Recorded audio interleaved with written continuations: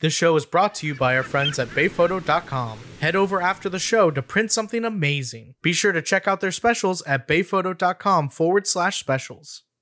Hello, hello, and welcome to Outside. Now, today I want to go over some very basic, simple tips for if you're just out and about and you want to snap, snap some things. So I thought I'd bring you to a local country, Kazakhstan. You've all heard of it. It's a great country, so come. Now, what are some basic things that you should know about if you just want to like, all right, I teach a lot about, oh, manual controls on the camera and this sort of thing. Okay, Luke, that's, I'm not, I'm not here for that. I want something simpler maybe. So, turn your camera on, put it in automatic mode, okay? And then from this point, let's just, I'll give you a few little tips of what you can do. If you want to shoot the environment around here, it's all about composition, this word composition. Uh, in normal textbooks, composition just means, you know, using certain shapes together that apparently look good together. But that's really vague, and I, know, I don't use that definition. A much simpler, more workable definition of composition is including objects in your shot which will push the idea or message that you want your photo to have, and deleting from that photo everything that distracts from it, detracts from it, and doesn't say what you want. All right, so let's think with this as we take some shots, and I'll give you a few other pointers along the way as well. Like here, here's some interesting old Kazakh buildings. If you want to know where the name Kazakhstan comes from, that's Kazakh, that's Stan. They're brothers, okay? They made this country. Uh, that's a lie. Okay, so we, we, I'm just going to take a shot. The lens I'm using here is a 35 millimeter. It's the exact same view that you see from your camera phone when you just open it normally, okay? So I'm gonna take a photo of this. Camera's an automatic. Okay, and it looks like a tourist photo. It just looks so boring. Oh, oh, this sort of a thing. Here's a tip. Color, color. You know when you go on Instagram and you see all these, like the, the, these shots from these pro photographers who travel and stuff, and it's just, they're amazing.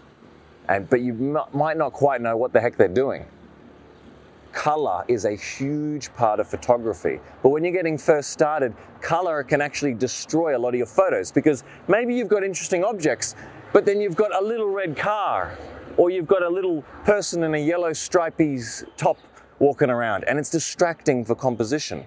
Composition is about bringing together only objects which fit and, and push like a certain message that you want, okay? So, super simple tip, delete the color for starters. You might not like this, but I totally recommend it. Put your camera in black and white mode. It's gonna delete all the color from it. So if I take this same shot,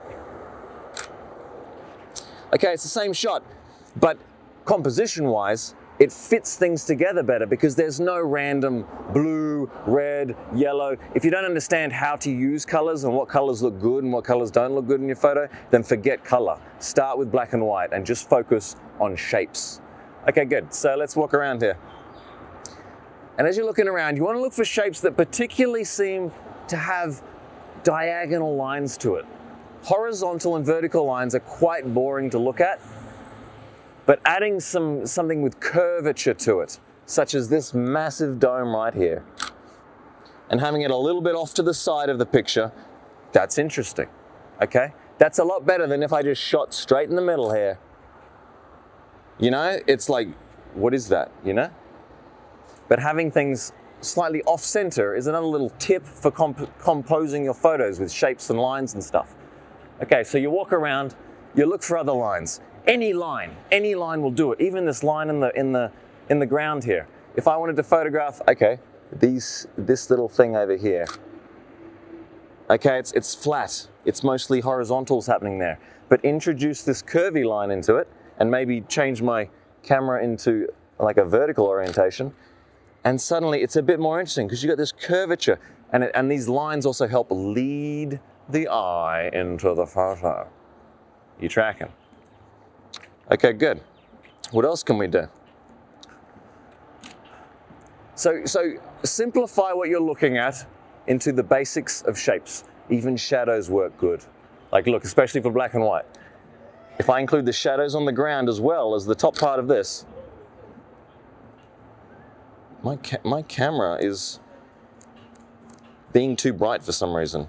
That's why I don't like automatic, because sometimes it thinks you want something, but no, no, Jack, I want something different. Yeah, that's better. And I'm gonna darken it even more. That's cool. And then I'm gonna do something else which I enjoy doing, and that is increase the contrast of my entire photo. Contrast is the difference between the brightest parts and the darkest parts of your photo. Increasing the contrast, especially in a black and white photo, can create more oomph, more punch to it. So if I increase the contrast here now, let's just take a shot. Ooh, interesting. Hang on, it's a little dark. Let's bring this up. Yeah, see? That's more dynamic. That's a fancy word. Come over here. And then basically it's just like use diagonals, use diagonals. These stairs are horizontal as you can see, but you can diagonalize them. You don't need to shift this, this place of the stairs. You just go from an angle where the stairs look like they are literally at a diagonal angle. And you take that shot there. Again, it's a little dark. You see? Oh, oh, these are just normal stairs. But in my black and white awesome photo, they look more interesting. All right?